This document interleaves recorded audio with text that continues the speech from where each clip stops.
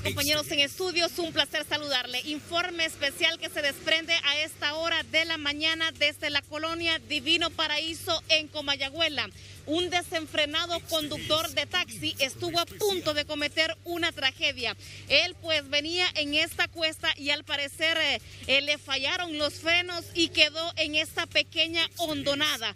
Gracias a Dios, tanto él como las otras personas que le acompañaban están fuera de peligro. También su vehículo no ha sufrido eh, aparentemente pérdidas materiales, pero ya han llegado las autoridades de la Dirección Nacional de Vialidad y Transporte. Eh, gracias a Dios, pues al momento que él, bueno, sobrepasó eh, la mediana y cayó en esta hondonada, no se encontraba nadie. Eh, un poquito nervioso, pero está muy bien, gracias a Dios, ¿verdad? Eso es lo más importante. No, no andaba el taxi, un muchacho que andaba allá, pero no, no lo andaba yo. ¿Los frenos se le fueron?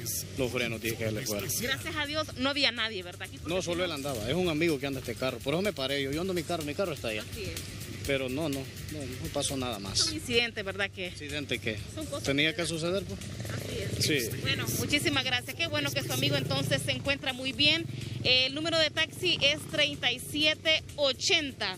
Eh, no sabemos si aquí van a utilizar alguna grúa o lo van a sacar por esta colonia. ¿Cómo van a hacer para sacar el taxi? No sé, mami, no sé, no sé, no sé. Yo, yo me paré porque lo miré aquí al muchacho y dije yo le voy a ayudar porque es un amigo, pero miro que se ha desaparecido, entonces... Óigame, esa cuesta es bien peligrosa. Es peligrosa, no. No es primera, fíjese que no es primera vez que se registran accidentes donde conductores caen en esta abandonada. Sí, dependiente como caminen usted, como hay, hay chofer que camina como que es que nunca va a llegar a la casa o algo. En la calle se le va a ir. Pues sí, exactamente, como que le va a terminar la calle, entonces hay que andar con cuidado, pues. Perfecto, bueno, muchísimas gracias. Muy atento.